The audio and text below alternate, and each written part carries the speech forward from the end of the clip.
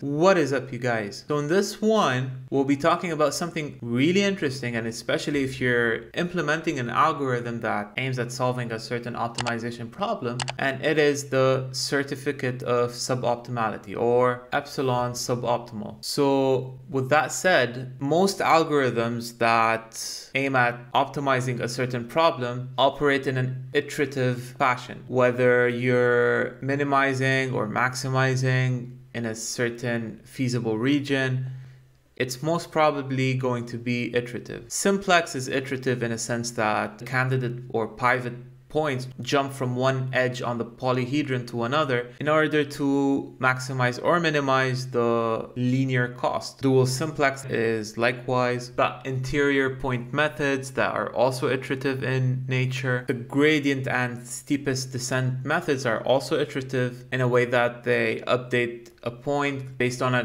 given direction that is computed through the gradient of the cost or the Lagrangian function. So yeah, many algorithms are iterative in nature and because of that, we should be able to know when to stop, right? So this lecture is dedicated for this purpose and I'll be showing you a non-heuristic way through the epsilon suboptimal inequality on when to stop. So the question is, given at each iteration your value x and the Lagrangian pairs lambda and nu, we can actually get a really nice non-heuristic bound on when to stop. So epsilon over here is a given precision. So stop after one decimal point, stop when there's no changes up to one decimal point, two decimal points, and so on. Okay, so yeah, so without further ado, let's get started on epsilon suboptimality. Right, so any optimization problem, whether convex or not looks like this. So we're minimizing a certain function f0 of x subject to some inequality constraints and some equality constraints where let's say we've got, I don't know, p of those, okay? Um,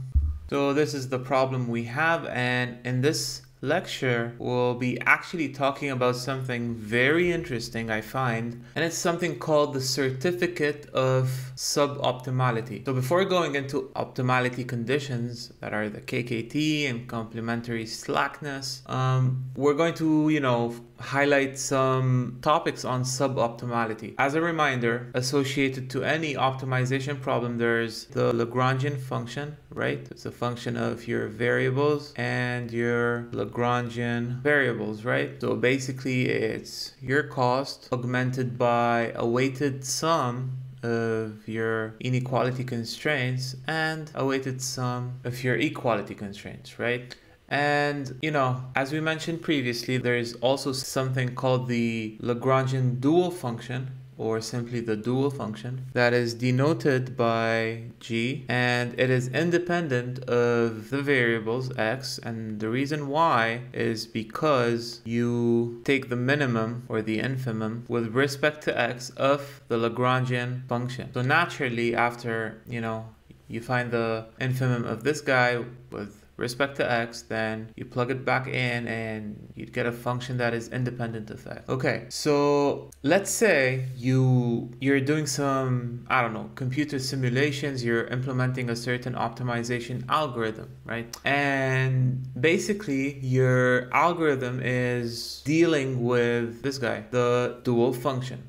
Okay. Well, it turns out that many numerical algorithms actually test lambdas and nus. So what do we mean by test? Well, for a given lambda and nu, we want to see how good we're doing. So what does that mean? Well, let's say you have a certain algorithm, I don't know, written in, I don't know, any language you prefer. Um, so this is your algo and your algorithm takes in F0, all your Fi's, right? As well as your H's. And what this algorithm basically does is whether it's steepest descent or Newton-Raphson or whatever type of algorithm you're implementing, what this algorithm should return is an estimate of the optimal solution denoted let's say by x star okay so this problem is optimal at x star and this algorithm returns an estimate of x star okay? Let's say x star hat. Right so there's a bunch of math going on over here and it finally returns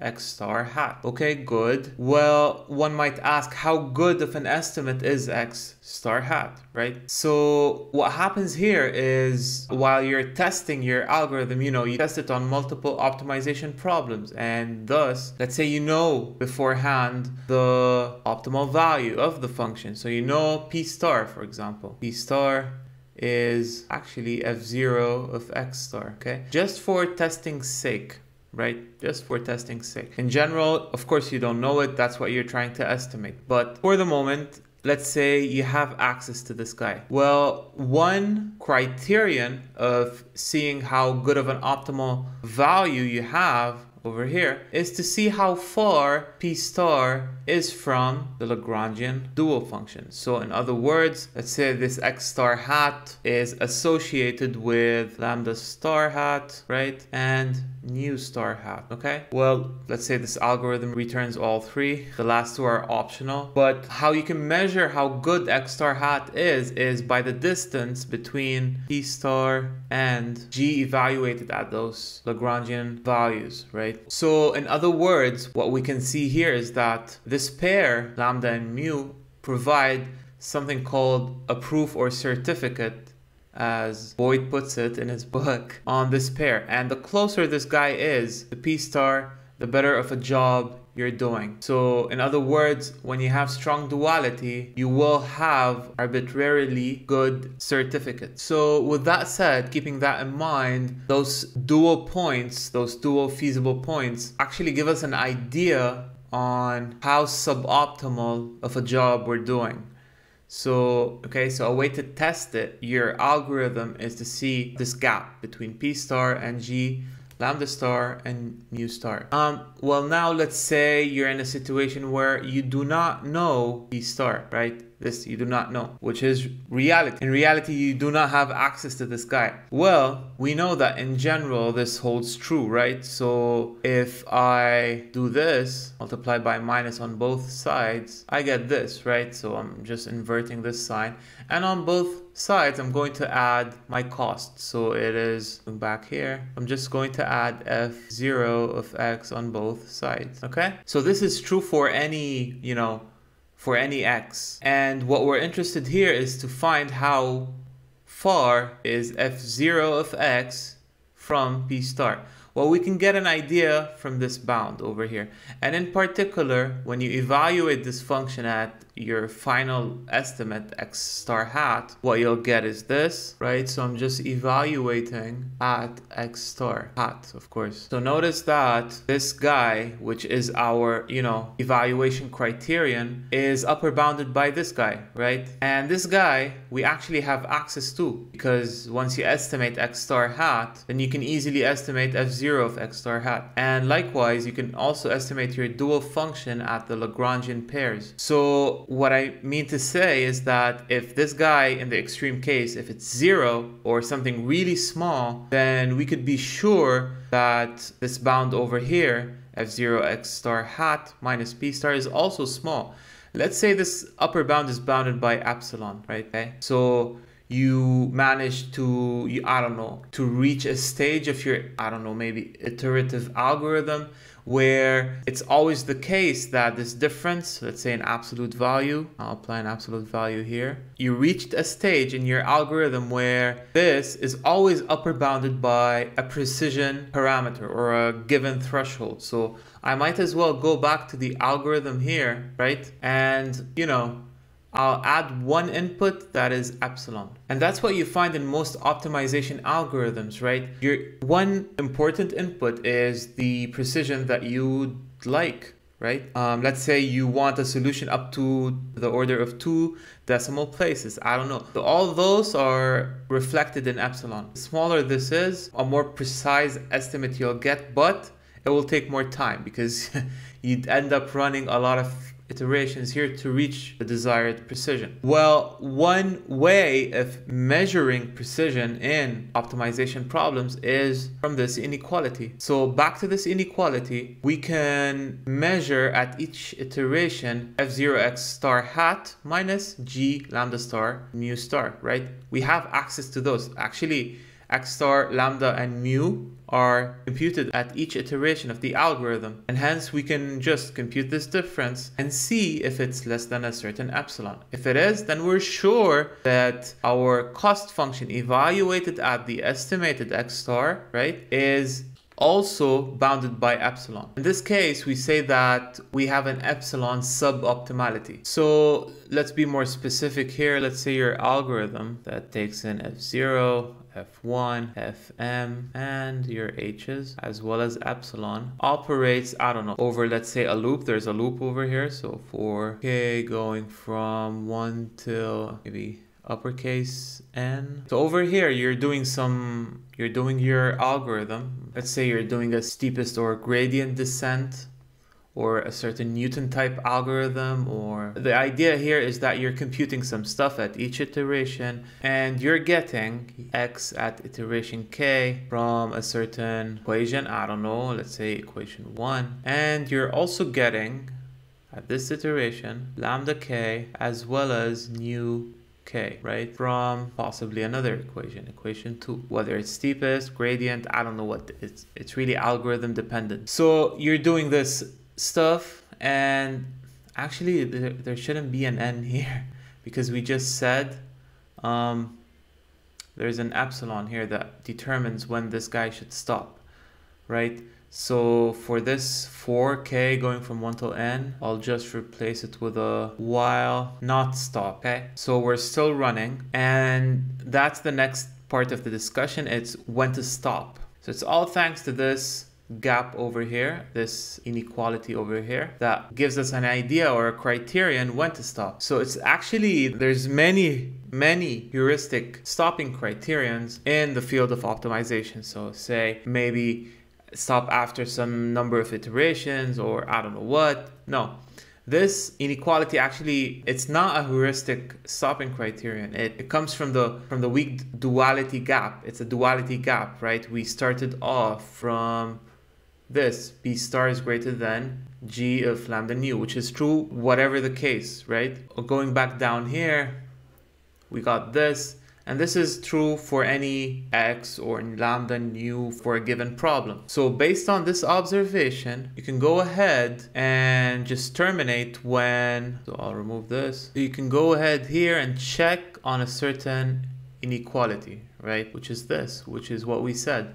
So you can go ahead at each iteration and check is f0 of xk, right, minus Lagrangian dual here evaluated at lambda star and nu star, but in this case it's k because at step k this is what we have, right? Go ahead and check if this guy absolute value is less than epsilon, okay? If so, then stop is true, okay? So this is actually telling us that you're you're guaranteed to stop when you're epsilon suboptimal, okay, based on this criterion. So what people refer to the Lagrangian pair is a certificate. So it's actually telling you that we are epsilon good. We are epsilon close to the optimal value, right? From the extreme lower bound. So if you set epsilon to 0.1, okay, then at some point of your iterations, given that you initialize correctly, the algorithm is not bad, right? There's some algorithms that do not converge because they're bad.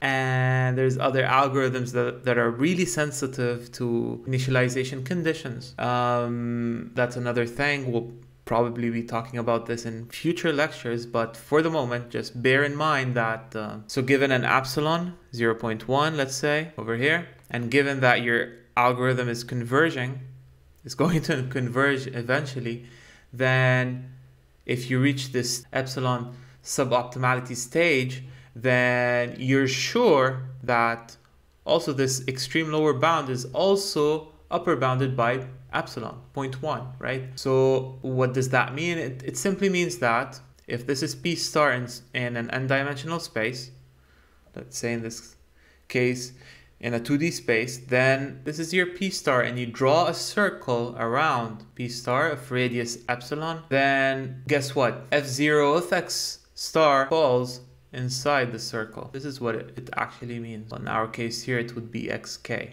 right? So once the epsilon suboptimality inequality is satisfied, that means f0 of xk lies inside a circle, if you're in 2D, centered at p star and radius epsilon. Oh, and by the way, I should have drawn a, a line segment because all the optimization problems we're talking about um, are mapping f0 of x onto one dimension. So x is n-dimensional, okay, but f0 of x is one-dimensional, right? I drew a circle because I was thinking about multi-criterion optimization.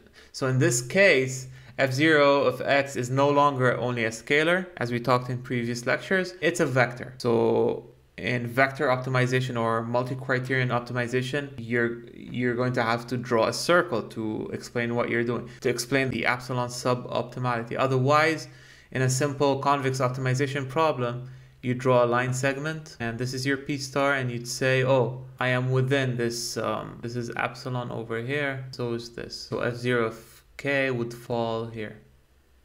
Okay, this is in 1D in a traditional convex optimization problem, and this is for vector optimization problems.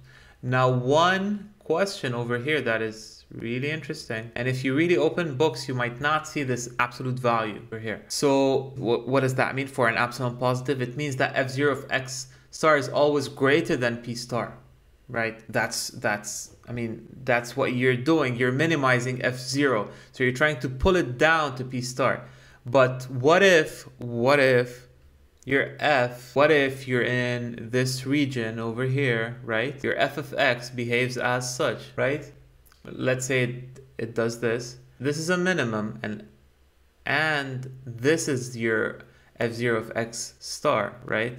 What if you were looking outside the feasible region? What if you were popping outside? Now, if, if, if your algorithm is implemented in a way that you're always operating inside here, then you could just, you know, easily drop those absolute values because you're sure that f0 of xk, right, is always greater than g of lambda. But what if you just, you know, for some reason of the algorithm, you started outside the feasible set. So in, in such cases, you can you can just drop the absolute values and go, okay? Okay, so that's about it for this lecture. We talked about certificate of suboptimality. So with that said, given an optimization problem and an algorithm that tries to solve the problem. The question is, when do we stop? So we're iterating over and over again to improve the qualities of the estimates of xk, of x, as we saw here, x at iteration k, f x superscript k and lambda superscript k and nu superscript k. So that's what you're you're computing at each iteration. And the question is again when to stop. Well, one interesting and non-heuristic stopping criterion would be just to look at the distance between the cost function and the Lagrangian dual function and to see if this is less than a given precision. And the reason why I say it's non-heuristic is because it's based on the epsilon suboptimality inequality, the one you see here. It is based off the dual gap. Thank you for watching. If you found this lecture beneficial, please hit the like button. Also consider subscribing to my channel. If you have any questions whatsoever, you can leave a comment down in the comment section below. I'll make sure I'll get to it as soon as possible. Thank you so much and I'll see you in future lectures.